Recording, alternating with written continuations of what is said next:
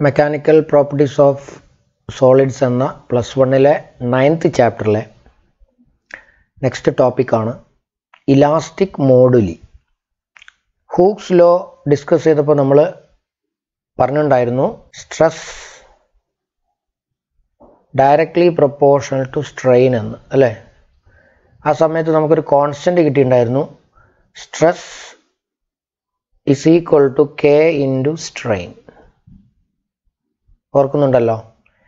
ഈ constant K ആണ് നമ്മൾ ഇലാസ്റ്റിക് മോഡുലസ് എന്ന് വിളിക്കുന്നത്. അപ്പോൾ മൂന്ന് തരം ഇലാസ്റ്റിക് മോഡുലസുകൾ ഉള്ളത് കൊണ്ടാണ് നമ്മളിവിടെ ഇലാസ്റ്റിക് മോഡുലി എന്ന് എടുത്തിട്ടുള്ളത്. അപ്പോൾ ഏതൊക്കെയാണെന്ന് എഴുതി വെച്ചോളൂ. ഒന്നാമത്തത് യങ്സ് മോഡുലസ് അത് നമ്മൾ വൈ എന്ന ലെറ്റർ കൊണ്ടാണ് നമ്മൾ ഡിനോട്ട് ചെയ്യുന്നത്. നെക്സ്റ്റ് വൺ ആണ് ബൾക്ക് മോഡുലസ് ക്യാപിറ്റൽ ബി കൊണ്ട് ഡിനോട്ട് ചെയ്യുന്നു. അതുപോലെ മൂന്നാമത്തത് ഷിയർ മോഡുലസ് അതിന് മറ്റൊരു പേരും കൂടി ഉണ്ട്. അത് മോഡുലസ് ഓഫ് റിജിഡിറ്റി അതിനെ ക്യാപിറ്റൽ ജി കൊണ്ട് ഡിനോട്ട് ചെയ്യുന്നു. അപ്പോൾ ഈ മൂന്നെണ്ണം നമുക്ക് ഡീറ്റെയിൽ ആയിട്ട് പഠിക്കാം. അതിൽ ഒന്നാമത്തത് എഴുതി വെച്ചോളൂ. യങ്സ് മോഡുലസ് എന്താണ് യങ്സ് മോഡുലസ് എന്ന് പറഞ്ഞാൽ നമ്മൾ മൂന്ന് തരം സ്ട്രെസ്സുകളും സ്ട്രെയിനുകളും പഠിച്ചിട്ടുണ്ട്. അപ്പോൾ അവർ തമ്മിലുള്ള സ്ട്രെസ്സും സ്ട്രെയിനും തമ്മിലുള്ള റേഷ്യോ ആണല്ലോ ഇലാസ്റ്റിക് മോഡുലസ്. അതുകൊണ്ട് മൂന്ന് തരം ഇലാസ്റ്റിക് മോഡുലസുകൾ ഉണ്ട്. അതിൽ ഒന്നാമത്തതാണ് യങ്സ് മോഡുലസ് എന്ന് പറഞ്ഞു. It is within the elastic limit the ratio of longitudinal stress to the longitudinal strain is called Young's modulus. അപ്പോൾ ലെങ്ത്തുമായിട്ട് റിലേറ്റഡ് ആയിട്ടുള്ള സ്ട്രെസ്സും അതുപോലെ ലെങ്ത്തുമായിട്ട് റിലേറ്റഡ് ആയിട്ടുള്ള സ്ട്രെയിനും തമ്മിലുള്ള റേഷ്യോ ആണ് യങ്സ് മോഡുലസ്. അപ്പോൾ അതൊരു ഇക്വേഷൻ ആക്കി എഴുതുകയാണെങ്കിൽ നമുക്ക് എഴുതാം. യങ്സ് മോഡുലസ് റേഷ്യോ ആണ് നമുക്ക് ലോഞ്ചിറ്റ്യൂഡിനൽ സ്ട്രെസ് ആദ്യം എഴുതാം.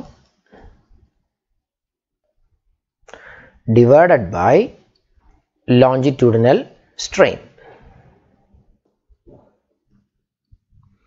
അല്ലെങ്കിൽ നമുക്ക് മാത്തമാറ്റിക്കലി എഴുതാം. Y is equal to longitudinal stress എന്ന് പറഞ്ഞാൽ എന്താ? Any stress is equal to F by A അല്ലേ?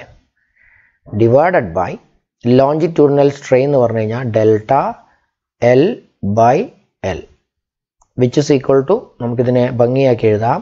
എഫ് ഈ എൽ മേലേക്ക് പോയാൽ F into L divided by A into delta L അപ്പോൾ Young's modulus for a wire.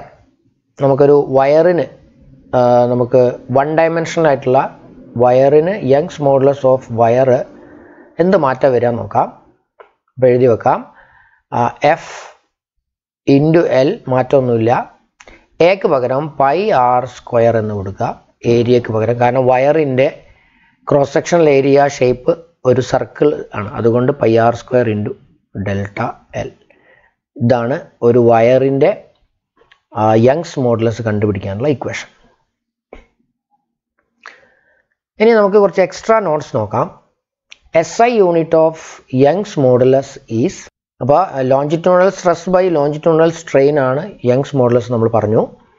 എന്നാൽ സ്ട്രെസ്സിന് മാത്രമേ യൂണിറ്റ് ഉള്ളൂ സ്ട്രെയിൻ യൂണിറ്റ് ഇല്ലാത്തതുകൊണ്ട് യങ്സ് മോഡലസിന്റെ യൂണിറ്റും ന്യൂട്ടൺ പെർ മീറ്റർ സ്ക്വയർ അല്ലെങ്കിൽ പാസ്കൽ എന്ന് എഴുതാം. Next Young's modulus is defined only for solids very important ആയിട്ടുള്ള റിസൾട്ട് എഴുതി വെക്കുക യങ്സ് മോഡുലസ് ഡിഫൈൻഡ് ആയിട്ടുള്ളത് സോളിഡ്സിന് മാത്രമാണ്. കാരണം സോളിഡ്സിനാണ് സ്വന്തമായിട്ട് ഷേപ്പ് ഉള്ളത്. അതുകൊണ്ട് Young's modulus is defined only for solids next important ആയിട്ടുള്ള എക്സ്ട്രാ നോട്ട്സ് നോക്കാം. Young's modulus of a perfect rigid body is infinity അതെന്തുകൊണ്ടായിരിക്കും അങ്ങനെ പറഞ്ഞത്? Y is equal to f into L by A into delta L ഇതാണല്ലോ Young's മോഡലസിന്റെ equation നോക്കൂ ഒരു rigid ബോഡിയുടെ എത്ര വലിയ ഫോഴ്സ് കൊടുത്താലും അതിന്റെ ലെങ്ത്തിൽ നമുക്ക് ചേഞ്ച് വരുത്താൻ കഴിയില്ല. അതായത് delta L for a rigid body zero ആയിരിക്കില്ലേ? അപ്പോൾ any number divided by zero എന്ന് പറയുന്നത് എന്തായിരിക്കും? ഇൻഫിനിറ്റി ആയിരിക്കും. അതുകൊണ്ടാണ് ഈ പോയിന്റ് ഇവിടെ വന്നിരിക്കുന്നത്. അപ്പോൾ അതാണ് ഒന്നാമത്തെ ഇലാസ്റ്റിക് മോഡലസ് ഇനി അടുത്ത ഇലാസ്റ്റിക് മോഡലസ് നമുക്ക് നോക്കാം. ബൾക്ക് മോഡലസ് ക്യാപിറ്റൽ ബി കൊണ്ട് സൂചിപ്പിക്കുന്ന ബൾക്ക് മോഡുലസ് ആണ് നെക്സ്റ്റ് വൺ അതിനകത്ത് അതിന്റെ ഡെഫിനിഷൻ നോക്കൂ. Within the elastic limit the ratio of volume stress to the volume strain is called bulk modulus അപ്പോൾ ആ ഇക്വേഷൻ നമുക്ക് എഴുതി വെക്കാം. Bulk modulus is equal to ratio of സ്ട്രെസ്സും വോളിയം സ്ട്രെസ് ആണല്ലോ. അപ്പം volume stress divided by volume strain അല്ലെങ്കിൽ ഇതിന്റെ ഇക്വേഷൻ ആക്കിയിട്ട് B is equal to F by A കാരണം ഇനി സ്ട്രെസ് എന്താണ്? ഫോഴ്സ് ബൈ ഏരിയ ആണ്. ഡിവൈഡഡ് ബൈ വോളിയം സ്ട്രെയിന് ഡെൽറ്റ വി ബൈ വി ആണ്. അവിടെ ഒരു നെഗറ്റീവും കൂടി ഇടണം. അതെന്താണെന്ന് ഇപ്പോൾ പറയാം. അപ്പോൾ നമുക്ക് കിട്ടുന്നത് minus F into V divided by A into delta V ആയിരിക്കും. ഇവിടെ നെഗറ്റീവ് സൈൻ എന്താണ്? ഡിനോട്ട് ചെയ്യുന്നത് അല്ലെങ്കിൽ ഇൻഡിക്കേറ്റ് ചെയ്യുന്നത് എഴുതി വെച്ചോളൂ. Negative sign indicates that with an increase in pressure there will be a decrease in volume എന്ന് വെച്ചാൽ ഇവിടെ നമ്മൾ എഫ് ബൈ എ ഈ എഫ് ബൈ എ കൂടുമ്പോൾ അതിനനുസരിച്ച് ഈ വോളിയത്തിൽ ഒരു മാറ്റം ഉണ്ടാവും എന്നാണ്. അല്ലെങ്കിൽ ആ വോളിയം കുറയുമെന്ന് കാണിക്കാനാണ് ഈ minus bulk modulus B equal to minus F V by A delta V ആണ്. Extra notes about bulk modulus എഴുതി വെച്ചോളൂ. S I unit of bulk modulus വ്യത്യാസമൊന്നുമില്ല. ന്യൂട്ടൺ പെർ മീറ്റർ സ്ക്വയർ അല്ലെങ്കിൽ പാസ്കൽ തന്നെയാണ് എഴുതി വെക്കണേ. അതേപോലെ bulk modulus is define for solids liquids and gas നേരത്തെ യങ്സ് മോഡലസ് സോളിഡ്സിന് മാത്രമാണ് ഡിഫൈൻ ചെയ്യപ്പെട്ടിട്ടുള്ളത്. എന്നാൽ ബൾക്ക് മോഡലസ് ഈ മൂന്ന് state of matters depend defined ആയിട്ടുണ്ട് സോളിഡ്സിനും ലിക്വിഡ്സിനും ഗ്യാസിനും ഇനി വളരെ ഇമ്പോർട്ടന്റ് ആയിട്ടുള്ള ഒരു extra notes about bulk modulus നോക്കാം. The reciprocal of bulk modulus is called compressibility and is denoted by K. എന്ന് വെച്ചാൽ നമുക്ക് already bulk modulus B is equal to F into V by A delta V എന്ന് കിട്ടി. ഇതിന്റെ reciprocal എടുത്തു കഴിഞ്ഞാൽ എന്താ കിട്ടുക? K that is K is equal to one by B ആയിരിക്കും. എന്ന് വെച്ചാൽ K is equal to minus A into delta V by F into V ഇവിടെ വളരെ ഇമ്പോർട്ടന്റ് ആയിട്ടുള്ള ഒരു പോയിന്റും കൂടി നിങ്ങൾ നോട്ടിൽ ഇൻക്ലൂഡ് ചെയ്യണം. എന്നുവെച്ചാൽ നമുക്കറിയാം സോളിഡ് ലിക്വിഡ് ഗ്യാസ് എടുക്കുകയാണെങ്കിൽ സോളിഡ് അതുപോലെ ലിക്വിഡ് ആൻഡ് ഗ്യാസ് ഈ ഇത് ഈ മൂന്ന് സ്റ്റേറ്റ് ഓഫ് മാറ്റർ എടുക്കുകയാണെങ്കിൽ ഏറ്റവും കൂടുതൽ സ്ട്രെയിന് ഏതിനായിരിക്കും?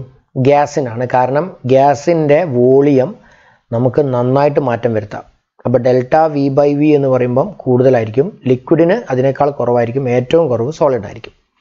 എന്ന് വെച്ചാൽ ഇതിനകത്ത് സോളിഡിന്റെ bulk modulus bulk modulus of solid ആയിരിക്കും കൂടുതൽ. കാരണം എന്താ? വളരെ ചെറിയ വോളിയമാണ് മാറ്റം വരിക ഡിഫോമിങ് ഫോഴ്സ് കൊടുത്താൽ അപ്പോൾ ആ ഫോഴ്സ് തിരിച്ചെടുത്താൽ വളരെ പെട്ടെന്ന് പഴയ ഷേപ്പിലേക്ക് തിരിച്ചു പോകുന്നത് സോളിഡാണ്. അതുകൊണ്ട് കൂടുതൽ ഇലാസ്റ്റിസിറ്റി സോളിഡിനാണ്.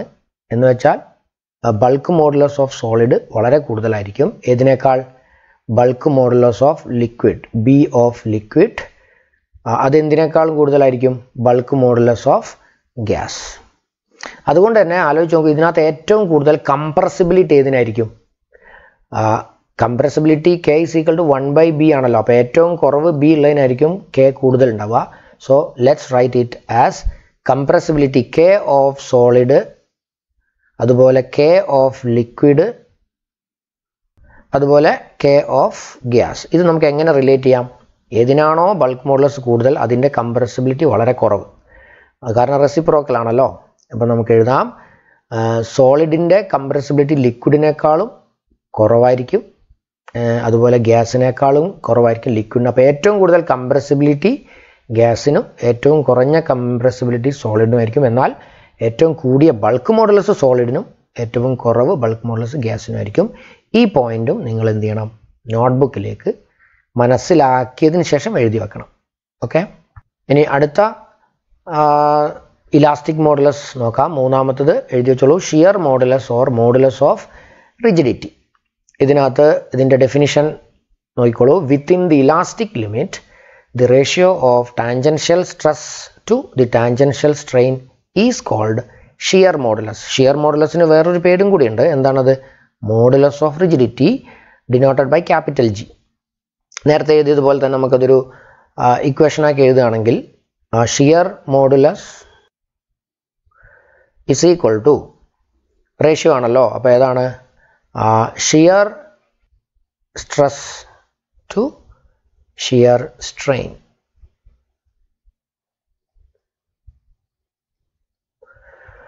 അല്ലെങ്കിൽ മാത്തമാറ്റിക്കലി നമുക്കത് ഒരു ഇക്വേഷൻ പോലെ ചെറിയ ഇതിന്റെ ലെറ്റേഴ്സ് ഉപയോഗിച്ച് എഴുതാം shear modulus G capital G is equal to F by A divided by delta X by L which is equal to F into ഈ എൽ മേലെ പോവും F into L by A into delta X ഇതാണ് modulus of rigidity അല്ലെങ്കിൽ shear modulus ഇനി shear മോഡുലസിനെ കുറിച്ചുള്ള extra notes എഴുതിക്കോളൂ.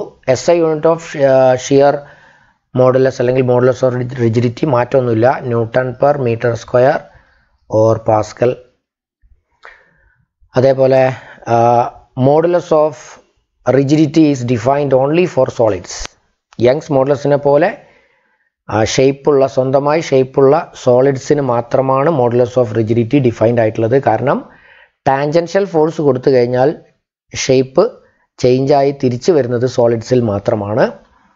Next modulus of rigidity of fluids zero ആണ്. ഈ പോയിന്റ് വളരെ ഇമ്പോർട്ടന്റ് ആയിട്ടുള്ള ഒരു പോയിന്റ് ആണ്. നമുക്ക് വേവ്സ് എന്ന ചാപ്റ്ററിൽ ഉപയോഗിക്കേണ്ട പോയിന്റ് ആണ്. അതുകൊണ്ട് ഇത് പ്രത്യേകം ലൈൻ അണ്ടർലൈൻ ചെയ്ത് വേണം നിങ്ങൾ എഴുതാൻ. Modulus of rigidity of fluid zero ആണ്.